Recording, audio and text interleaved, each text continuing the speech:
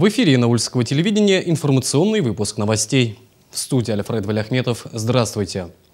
Очередное оперативное совещание в районной администрации состоялось в понедельник, 30 сентября.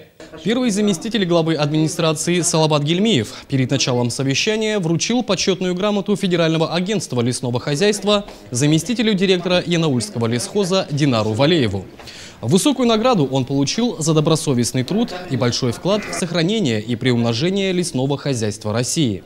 Затем руководители предприятий и учреждений района перешли к обсуждению повестки. Главным вопросом дня стало исполнение поручения главы Республики Башкортостан Радия Хабирова по пуску теплоснабжения в жилые дома и объекты социального назначения. Об этом доложили начальник отдела промышленности и строительства администрации муниципального района Янаульский район Республики Башкортостан Артур Имашев, директора управляющих компаний Янаульский жилкомсервис Рамиль Вильданов, общество с ограниченной ответственностью управления жилищно-коммунального хозяйства города Янаула Руслан Юсупов. А, своевременной подаче тепла по направлениям ресурсоснабжающей организации а, бригады технического обслуживания ООО ЖКХ были готовы подать тепло в многоквартирные дома в установленные сроки.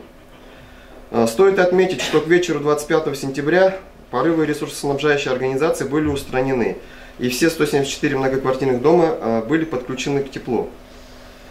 На сегодняшний день основная проблема – это отсутствие тепла в концевых домах и гул в трубах после установки дроссельных шайб.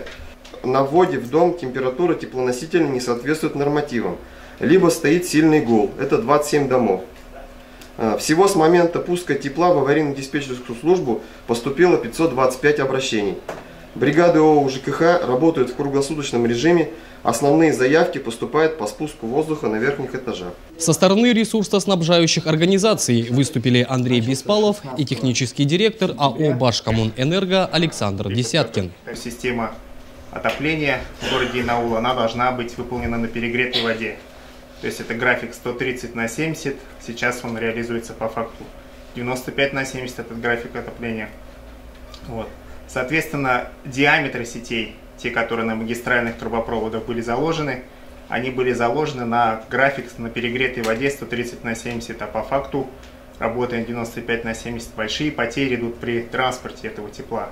Эти участки, они как бы известные, их надо расшивать, но та работа, которая сейчас проделывается по поводу установки шайб, она должна способствовать перераспределению расчетному тепла из тех объектов, которые наиболее удаленные, близкие к котельным потребителям, на те объекты, которые а, непосредственно вдали находятся от теплоисточников.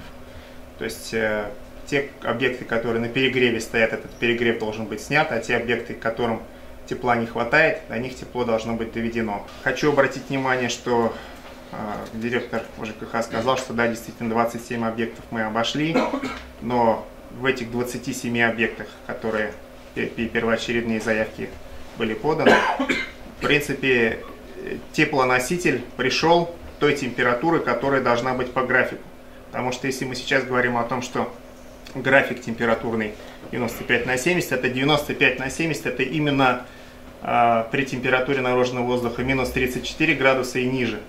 При вот этой температуре плюсовой это 43-45 градусов, а сейчас фактически осознавая, что нам надо наверстать тот какой-то момент, когда мы по, по, по отоплению не додавали, и на первой котельной, и на второй 60-61 градус мы даем. Вторым вопросом собравшиеся рассмотрели реализацию проекта по переходу на цифровое вещание в Янаульском районе. Напомним, что Башкортостан полностью уйдет в цифру 14 октября. Вел совещание и подвел его итоги первый заместитель главы администрации Салават Гельмиев. Одно из направлений деятельности Центра социального обслуживания населения «Альтаир» – уход и помощь пожилым людям и людям с ограниченными возможностями здоровья. Помогают им в домашних делах социальные работники Центра. Одна из них – Лилия Ильина.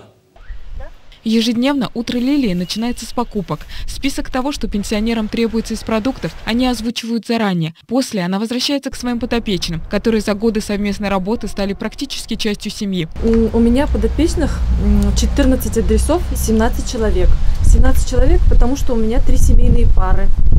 Остальные люди одинокие, одинокие дети живут э, отдельно от них силу возраста ихнего они, им тяжело выполнять свою какие-то домашние дела, ходить в магазин, даже поднять э, пару кило продуктов, чтобы себе купить в магазине, им тоже очень тяжело. Поэтому они обращаются в нашу организацию. Мы помогаем и по дому, с уборками, сходить в магазин, сходить за лекарствами, выбрать бытовую технику какую-то или вместе пойти на прогулку. Вот. Даже если люди, которые не ходят, с ними тоже с, с коляской идем в больницу. Каждый человек, каждый подопечный для меня очень ценен и дорог. Я к ним уже до такой степени привыкла, что отношусь как к родным, как к родному дедушке, бабушке, как к тете. В силу возраста они тоже бывают и свой, свой уклад, свой, свой нрав, свой характер. Но стараюсь каждому подобрать подход. Мои подопечные все очень добрые люди, очень отзывчивые. В этот день она пришла к Зинафу Миназову. Уже шестой год она заботится о пенсионере и помогает со всеми домашними делами. Ему 70 лет, инвалид первой группы. Получив еще в молодости производственную травму, он на многие годы потерял способность нормально ходить. А соцработники, я скажу, только хорошие. Ничего плохого они не скажу, во-первых что бы ее не просили, что бы делать или что постирать, ну, там все, все, все по-женски, она все сделает. Насчет этого она молодец. Насчет продуктов тоже. Вот попросишь, это купи, это купи, это купи, это купи. Молодец она насчет этого. Юмор любит. Все, вот поговорить, все посмеяться, все можно. Новости расскажет, что происходит, и на вот такие вот большие новости. Вот бывает Дома сидишь, ничего не знаешь. Все, все на ней, все на ней. Что не попросили, все на ней. Кончил школу 8 классов. Уезжал в Сарапул, в Удмуртии, в радиотехнический завод. Что-то не понравилось, приехал. Может, и надо было остаться, конечно. Такого не произошло бы. Приехал, выучился на шофера, э, мотоциклиста заочно. Потом на слесаря агрегатного цеха в агрегатном цехе работал, ходовая часть техники вся полностью на мне была. И в итоге простота центральный нерв на работе. Обычный день, кушать готовлю, то, другое, понемножку. Жена сама себя обеспечит полностью, она мне не зря себе глаза сожгли. В Сибаксары поехала на операцию и, и полностью лазером сошли глаза. Вот, она сама себя обеспечивает. У нас сотрудники есть, наняли мы работницу. Гулять, да куда вот они вместе ходят. На часа полтора-два. Вот они. Так все, слава Богу, жить можно, как говорится. Но охота вы, конечно, получше, как все люди, и погулять, и все, все повеселить. Ну а куда денешься? Никуда денешься. Приходится так жить вот. Обеспечиваем сами себя. Так что так, пока, слава Богу. Ничего плохого такого, как говорится, нет. С соседями общаемся, вот, бывает. Иногда вот в окно высунусь, как этот воробей. Стоим, разговариваем, разговариваем, общаемся. Так все нормально. Несмотря на непростую жизненную ситуацию, пенсионер старается относиться к жизни с юмором. Говорит, что был бы еще новый телевизор, и совсем все было бы хорошо. Гульнара Сиддикова, Нил Сафин, служба новостей Янаульского телевидения. Уроженка деревни Сукулова Дертюлинского района Разифа Вазидинова вот уже 58 лет проживает в деревне Истяк Янаульского района. Вместе с супругом Робиком они прожили долгую счастливую жизнь и воспитали троих детей. Два года назад Разифа Курбангалеевна овдовела. Дети уже давно разъехались и живут своей жизнью, сами воспитывают внуков. По просьбе нашей героини ей по хозяйству помогает социальный работник Айсулу Аминова.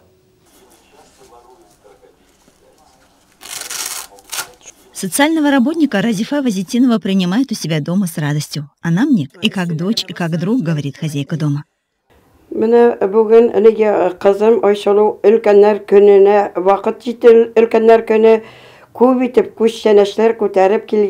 Сегодня доченька Айсалу пришла с гостинцами. Поздравила меня с наступающим днем пожилых. Я всегда рада ее визиту. Каждую неделю навещает, заранее звонит и спрашивает, что нужно купить или принести. Мои дети на работе. Все время не хочу их отвлекать. Когда ИСЛУ приходит, я становлюсь молодой, здоровой. Вместе пьем чай, разговариваем, советуемся. Я ей даю советы, она мне. По огороду очень помогает. Очень благодарна ей. Желаю ей здоровья и семейного счастья. Социальным работником я работаю уже почти год. У меня на обслуживание 15 человек. Из них трое дедушек и 12 бабушек. Готовлю им кушать, убираюсь дома, покупаю продукты питания, покупаю лекарства. Ездим мы с ними в больницу на прием к врачу. Иногда бывает, что я им помогаю, их поддерживаю в процедурах медицинских. А я к ним очень сильно привыкла, они ко мне привыкли. Разифа Курбангалеевна всю жизнь проработала дояркой. Будучи в золотом возрасте, инвалид третьей группы нуждается во внимании со стороны.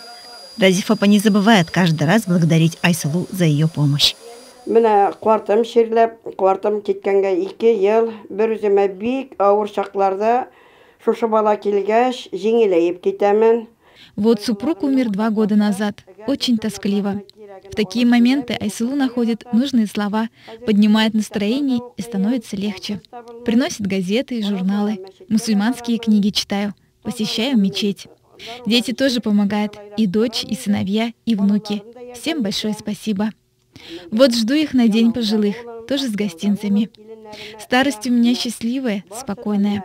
Пока супруг был жив, все удобства сделал в доме. Бывает, езжу в Янаул за продуктами сама. Тоже помогаю соседям, привожу лекарства. Друзей у меня много в этой деревне. Хотя я и не местная, все уважают и оказывают помощь. И родственники мужа постоянно справляются о моем здоровье. Слава Богу. Деревню Истяк я тоже полюбила. Живу здесь уже 58 лет. Дети уже выросли, разъехались, живут своими заботами. Если они будут счастливы, то и мне в радость. Когда есть настроение, занимаюсь рукоделием, читаю книги. Живу одна на этой улице. Не хочу, чтобы здесь свет погас. Правнуки с большой любовью и теплотой относятся ко мне. Я очень жду, когда они вырастут, и, надеюсь, будут помогать мне. В молодости мало кто задумывается о проблемах пожилых и не все стремятся проводить с ними время, и не задумываются над тем, что пожилые люди могут стать их друзьями и наставниками, помогая избегать в жизни проблем. Есть люди, которые, делая что-то для других, получают больше удовлетворения по сравнению с тем, что они делают для себя. Визданова Крещенова, Яс Хабибулин, служба новостей Янаульского телевидения. В последнюю субботу каждого месяца в Янауле проходит семейный выходной. Очередное такое мероприятие прошло в Центральной библиотеке 28 сентября. Темой встречи стала «Наука быть родителем». Воспитанники театральной студии «Овация» показали актуальную сценку на тему семьи. Депутаты Совета района Гузель Раянова и Алия Мирсаяпова ознакомили всех с деятельностью клуба продвинутых родителей. Дети попробовали себя в мастер-классах по лепке, рисованию и аппликации. Поиграли. Сотрудники библиотеки ознакомили их с детскими изданиями. Родители тоже не сидели без дела. Для них психологи подготовили тренинги. Больше, наверное, этот выходной мы сегодня проводим для родителей, а, потому что у родителей всегда возникает много вопросов по воспитанию, по обучению детей.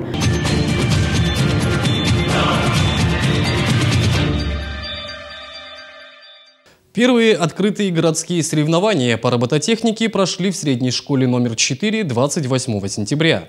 На импровизированной арене в этот день боролись работы учеников Емадинской и Байгузинской школ, лицея, станции юных техников и четвертой школы. Каждая команда представила экспертам готова к соревнованиям робота. Непосредственно перед началом практической части жюри конкурса оценили соответствие каждого робота заявленным параметрам. Занимаюсь уже два года. Я, я пришел, пришел, когда занимался оригами и записался мой робот может э, ехать по, по своей оси налево-направо, на, э, вперед-назад. И у него, у него есть датчик, он может по, э, ехать э, по карте, которая есть там черная полоска, и он, может по ей ехать. Сам собираю, можно хоть какую модель собрать, и она может сделать э, Например, есть датчик, чтобы, чтобы видел ехать, и он туда направляется. Интересно, э, ну, бывают сложности, ну, редко только. Э, хочу э, создать ну, какой-то робот, чтобы у него все датчики были. Мне 12 лет, я, жил, я живу в Ракаево.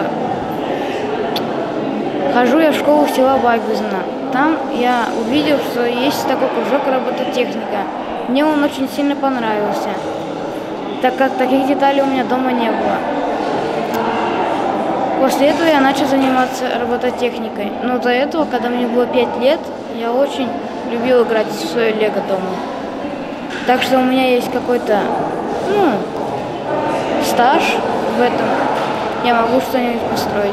Но я хотел бы сделать какой-нибудь краулер. Или же, ну, какой-нибудь джип там, который очень медленно едет, но очень проходимый.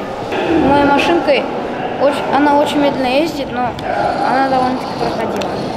Просто у нас еще двигателей нет хороших, мы их не заказали. Практическая часть включала два этапа. Первая категория сумо. В этом виде состязания победителем становится тот участник, робот которого смог вытолкнуть соперника за пределы ринга. В категории гонка по линии победителем считался тот робот, что преодолел дистанцию максимально быстро. Оценивали соревнования специалисты в области электроники. Оно проводится для определения одаренности детей в плане робототехники и популяризации технических э, кружков нашего города.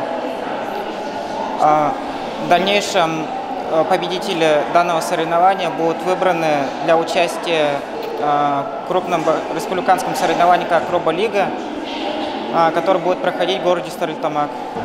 Также есть вне конкурса участники у нас Байгузина и Ямадов на малых конструкторах робота Видо будут участвовать на перетягивании канат. Для городского уровня скажу то, что подготовка детей на высоком уровне – каждый подготовился достойно. И да, в дальнейшем на следующий год уже собираемся усложнить задачи и побольше э, конкурсов доставить. Надеемся, то, что другие школы тоже подключатся к нашим соревнованиям. А поначалу дети, которые ходили не первый год, они собирают своих роботов. В дальнейшем уже под моим руководством они усложняют и модифицируют этих роботов.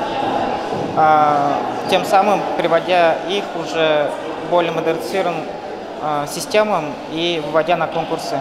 Это все роботы, идеи наших детей.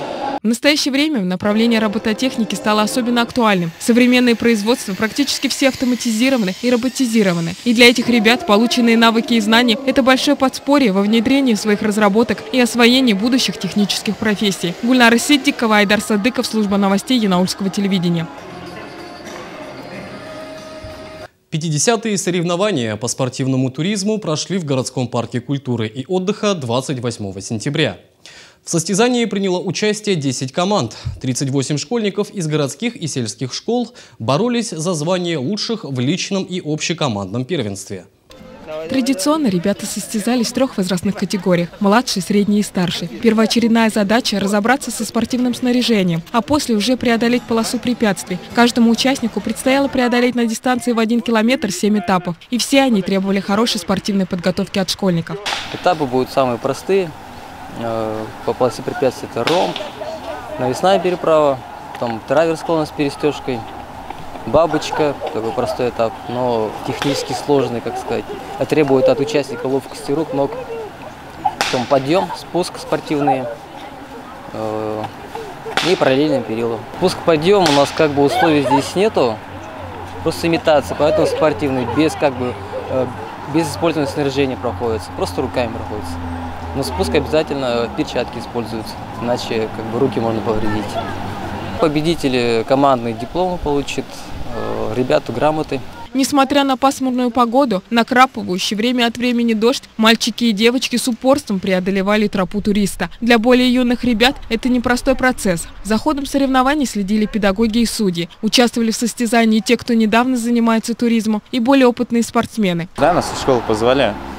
Сказали, кто хочет, я пришел. Мне очень нравится так. Тут очень интересно. Всякие конкурсы бывают. Ну, не конкурсы, а именно испытания, которые требуют выносливости и силовые тоже. Так занимаюсь уже четвертый год, наверное, здесь. Все получается. Занимаю обычно первые, вторые места. Первый раз, когда шел, было волнительно, страшно. Как бы тяжело было. Но сейчас привык. Пять лет уже участвую в туризме. Принимал и на республиканских участиях соревнованиях. Ездили в, в этом году на Мишкинский. На ШБ ездили. Туризм нравится тем, что можно проходить этапы, можно познать себя, насколько ты силен, терпелив. Раньше было страшно, беспокоился, а сейчас уже так, спокойно прохожу препятствия. Бабочка – самое любимое препятствие. И навесная. Навесная тем, что можно не надо проходить на руках, тяжело. А бабочка надо на, на шпагат садиться. В этот день ребята получили дополнительный опыт в освоении спортивного туризма, а значит и стимул для участия уже на республиканских соревнованиях. Гульнара Сиддикова, Айдар Садыков, служба новостей Янаульского телевидения. Волонтер – это такой человек, которым руководит желание творить добро и безвозмездно оказывать помощь людям и животным. Работа волонтера нелегка и на общественных началах. Этой теме как раз и было посвящено мероприятие, проведенное работниками Дома пионеров и школьников в школе номер 4 26 сентября. Четверо ребят с этой школы приняли участие в республиканском слете в конце сентября. Они поделились впечатлениями о поездке, рассказали о тренингах, которые они посетили, устроили флешмоб вместе с остальными ребятами и признались, что они узнали очень много нового и интересного. Мы поехали, получается, от организации Дом пионеров и школьников.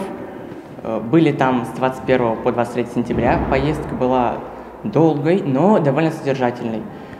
За эти два дня мы узнали очень много нового, много интересного. Там просто такие хорошие ребята. Это, это достойно уважения. Э, у них не было комплекса с общением, у них не было какого-то высокомерия. Это очень хорошие ребята, с которыми я провел два замечательных дня. Я очень доволен слетом и надеюсь, что попаду на него еще. Волонтерство — это в первую очередь... То есть, когда ты волонтер, ты доброволец ты делаешь, э, ты какие-то поступки делаешь по своей воле, по доброй воле, получается. Э, там я узнал о том, как достичь успеха в своей жизни, э, что такое проект, кто, таки, ну, кто такие вообще волонтеры и сложно ли, сложно ли ими быть. Волонтерство – это нередко какие-то интересности, важности, возможно, что-то новое.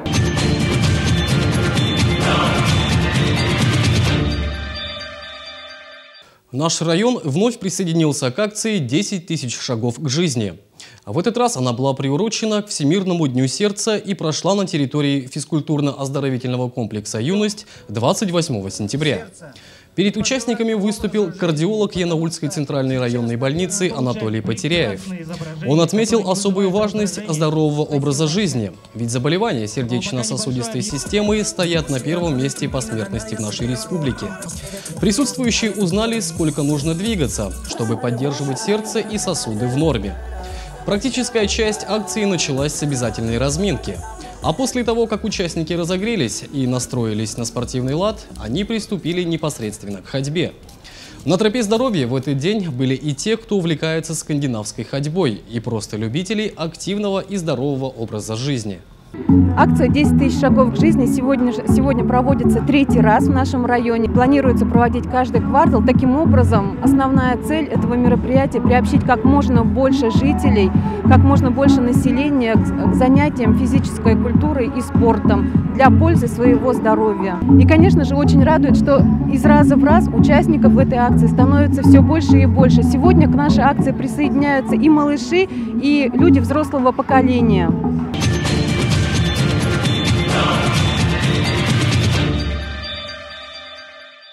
Ежегодный волейбольный юношеский турнир, приуроченный ко Дню Республики, прошел в физкультурно-оздоровительном комплексе «Юность» 28 сентября.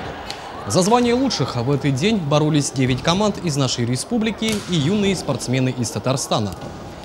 Самым старшим участникам турнира 14 лет. Но несмотря на юные годы, большинство из этих ребят уже многие годы занимаются волейболом. Соревнования подобного плана – это возможность дополнительного роста для молодых спортсменов. Мне нравится волейбол. Я решил пойти по стопам моей мамы на волейболистка. А, я уже ну, довольно хорошо играю. Настроение хорошее. Играли мы с балтачевой очень хорошая команда. Э, соревновались очень хорошо, но мы их победили. Ребята старались выложиться полностью. За их передачами следили болельщики и сопровождающие команд. По результатам этого турнира победителями в двух возрастных категориях 9-10 лет и 13-14 лет стали янаульцы. Таковы новости к этому часу. Далее эфир продолжат мои коллеги. Я с вами прощаюсь. До новых встреч.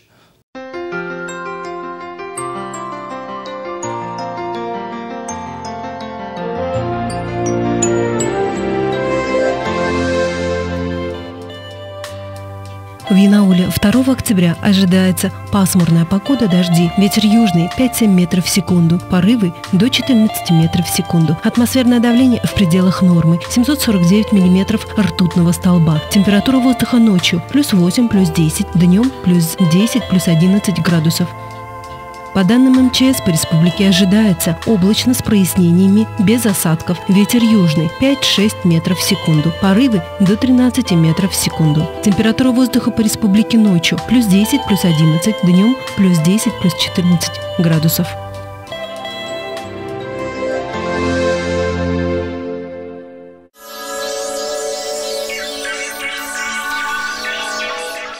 Нужны очки? Быстро, качественно, недорого. ГОСТ Оптика. Более тысячи моделей. Очки для зрения и солнцезащитные от 299 рублей. Очки на заказ с европейскими линзами от 999 рублей. Экспресс изготовление очков от 15 минут. Пенсионерам, школьникам и студентам скидки до 15%. Нефтекамск, Ленина 38, юбилейный 2, СМ, Янаул, Советская 2. Где клен шумит. Не пропустите гала-концерт лучших песен вокально-инструментального ансамбля «Синяя птица». Янаул. Встречай 13 октября, 19.00, МКДЦ, улица Азина, 32. Легендарный солист Владимир Преображенский.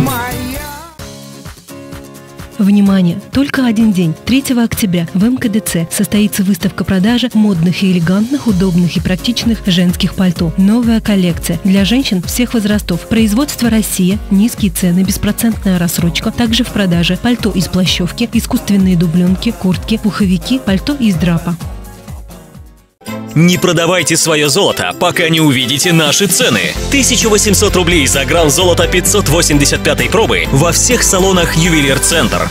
Только 28 августа в МКДЦ состоится большая распродажа шуб. Российские меха. Скидка до 50%. Ждем вас с 10 до 18 часов.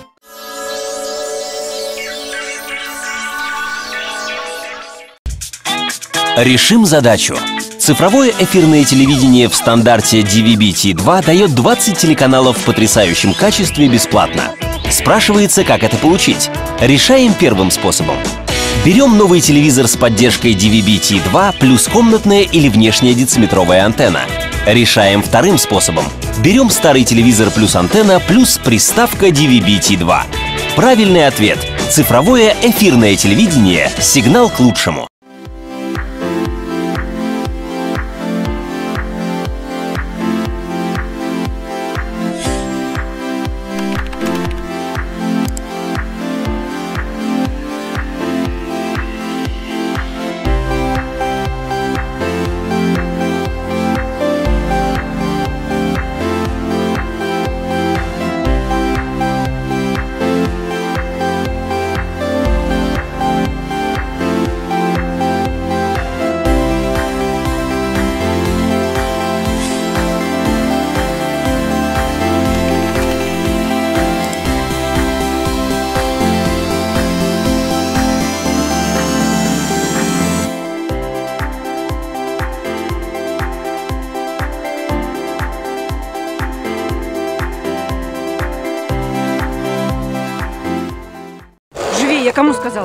И так из тебя опаздываем.